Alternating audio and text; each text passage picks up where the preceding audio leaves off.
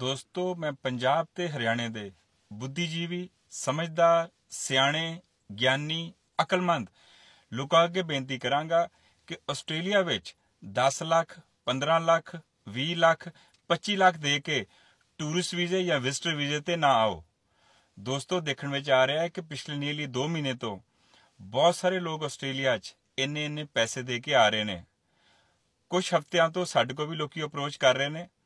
ਵਿਚਾਰੇ ਹੁੰਦੇ ਐ ਸਾਦੇ ਕਰਾਂਦੇ ਆਪਣੀ ਜ਼ਮੀਨ ਵੇਚ ਕੇ ਜਾਂ ਕਿਸੇ ਕੋ ਪੈਸੇ ਉਧਾਰੇ ਲੈ ਕੇ ਕਿਸੇ ਸ਼ਰਾਰਤੀ ਏਜੰਟ ਕੋ ਜਾਂਦੇ ਨੇ ਤੇ ਆਸਟ੍ਰੇਲੀਆ ਦਾ ਲਵਾਉਂਦੇ ਨੇ ਜੀ ਉਹ ਵਿਜ਼ਟਰ ਵੀਜ਼ਾ ਟੂਰਿਸਟ ਵੀਜ਼ਾ ਇਦਾਂ ਦਾ ਹੀ ਇੱਕ ਕੇਸ ਸਾਡੇ ਕੋਲ ਪਿਛਲੇ ਹਫ਼ਤੇ ਆਇਆ।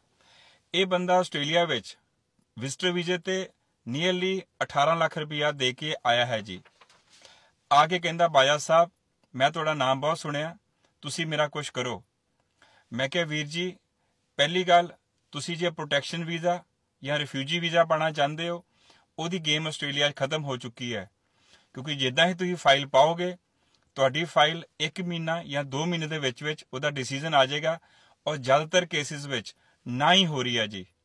ਦੂਜੇ ਪਾਸੇ, ਤੁਸੀਂ ਟੂਰਿਸਟ ਤੋਂ ਬਾਅਦ ਸਟੂਡੈਂਟ ਵੀਜ਼ਾ ਪਾ ਨਹੀਂ ਸਕਦੇ। ਸਿਰਫ ਇੱਕ ਵੀਜ਼ਾ ਰਹਿ ਗਿਆ ਵਰਕ ਵੀਜ਼ਾ ਜਿਹਦੇ ਵਾਸਤੇ ਤੁਹਾਨੂੰ ਐਕਸਪੀਰੀਅੰਸ ਵੀ ਚਾਹੀਦਾ, ਪੰਜ ਬੈਂਡ ਵੀ ਚਾਹੀਦੇ ਨੇ ਤੇ ਇਹਦੇ ਨਾਲ ਨਾਲ ਕੋਈ EMPLOYER ਸਪਾਂਸਰ ਕਰਨ ਵਾਸਤੇ ਵੀ ਤੁਹਾਨੂੰ ਰਾਜੀ ਹੋਵੇ, ਜਿਹੜਾ ਕਿ ਸੌਖਾ ਕੰਮ ਨਹੀਂ ਹੈਗਾ। ਕਹਿੰਦਾ ਜੀ, ਮੇਰਾ ਕੋਈ ਡਾਮਾ ਪਵਾ ਦਿਓ, ਕੋਈ ਟਰੱਕ ਡਰਾਈਵਰ ਕੋ ਸਪਾਂਸਰ ਕਰਾ ਦਿਓ। ਮੈਂ ਕਿਹਾ, ਵੀਰ ਜੀ, ਜੇ ਪੈਸੇ ਖਰਾਬ ਕਰਨੇ ਆ, ਤੇ ਤੁਸੀਂ ਕਿਸੇ ਹੋਰ ਏਜੰਟ ਕੋ ਜਾ ਸਕਦੇ ਹੋ, ਕਿਉਂਕਿ ਇਹ ਚੀਜ਼ਾਂ ਬਹੁਤ ਹੀ ਜ਼ਿਆਦਾ ਔਖੀਆਂ ਨੇ। ਦੋਸਤੋ, ਉਸ ਤੋਂ ਬਾਅਦ ਮੈਂ ਉਹਦੀ ਪੂਰੀ ਫਾਈਲ ਜਿਹੜੀ ਕੱਢ ਕੇ ਵੇਖੀ ਤੇ ਮੈਨੂੰ ਪੁੱਛਿਆ, ਵੀਰੇ, ਤੂੰ ਕਿਹੜੇ ਇਲਾਕੇ ਤੋਂ ਹੈ ਉਹ ਕਹਿੰਦਾ ਜੀ, ਮੈਂ ਹੈਗਾ ਅੰਮ੍ਰਿਤਸਰ ਤੋਂ। ਤੇ ਮੈਂ ਕਦੀ ਚੰਡੀਗੜ੍ਹ ਵੀ ਨਹੀਂ ਗਿਆ। ਤੇ ਸਿੱਧਾ ਉਹ ਆਇਆ ਜੀ ਆਸਟ੍ਰੇਲੀਆ। ਤੇ ਜਦੋਂ ਮੈਂ ਫਾਈਲ ਖੋਲ ਕੇ ਵੇਖੀ, ਇਹਦੇ ਵਿੱਚ ਏਜੰਟ ਨੇ ਕੀ ਸ਼ੋਅ ਕੀਤਾ ਕਿ ਉਹ ਇੱਕ ਕੰਪਿਊਟਰ ਕੰਪਨੀ ਵਿੱਚ ਸਾਲ ਦਾ ਨੀਅਰਲੀ 20 ਤੋਂ 25 ਲੱਖ ਰੁਪਇਆ ਕਮਾ ਰਿਹਾ ਹੈ। ਤੇ ਉਹਦੀਆਂ ਨਾਲ ਪੇ ਸਿਪਾਂ ਲਾਈਆਂ ਬੈਂਕ ਬੈਲੈਂਸ ਲਾਈਆਂ। ਇਹਦੇ ਨਾਲ ਨਾਲ ਸ਼ੋਅ ਕੀਤਾ ਕਿ ਉਹ ਬਹੁਤ ਵੱਡਾ ਜਿਹੜਾ ਵਾ ਆਈਟੀ ਪ੍ਰੋਫੈਸ਼ਨਲ ਹੈ। ਦੋਸਤੋ, ਬੰਦਾ ਇੱਥੇ ਪਹੁੰਚ ਤੇ ਗਿਆ। ਵਿਚਾਰੇ ਨੇ ਮਰ ਕੇ 12ਵੀਂ ਪਾਸ ਕੀਤੀ ਹੈ। ਇੰਗਲਿਸ਼ ਦਾ ਕੋਈ ਵੀ ਲੈਵਲ ਨਹੀਂ ਹੈਗਾ। ਦੱਸੋ ਇਸ ਕੰਟਰੀ ਜਾ ਕੇ ਪੈਸੇ ਪੂਰੇ ਕਰ ਲੇਗਾ।